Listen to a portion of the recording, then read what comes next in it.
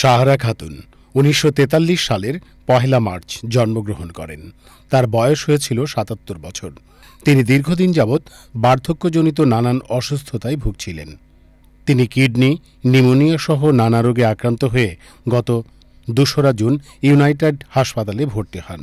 সাহারা খাতুন দু হাজার আট সালে নবম জাতীয় সংসদ নির্বাচনে আওয়ামী লীগের প্রার্থী হিসাবে ঢাকা আঠারো আসন থেকে সংসদ সদস্য নির্বাচিত হন। এরপর তিনি একই আসনে দশম ও একাদশ সংসদ নির্বাচনেও জয়লাভ করেন। দুই হাজার নয় সালে তিনি সরকারের প্রথম নারী স্বরাষ্ট্রমন্ত্রী হিসাবে দায়িত্ব পান। দুই হাজার বারো সালে মন্ত্রণালয়ের রদবদলে তিনি সরকারের স্বরাষ্ট্র মন্ত্রণালয় থেকে ডাক ও টেলিযোগাযোগ মন্ত্রণালয়ের দায়িত্ব গ্রহণ করেন।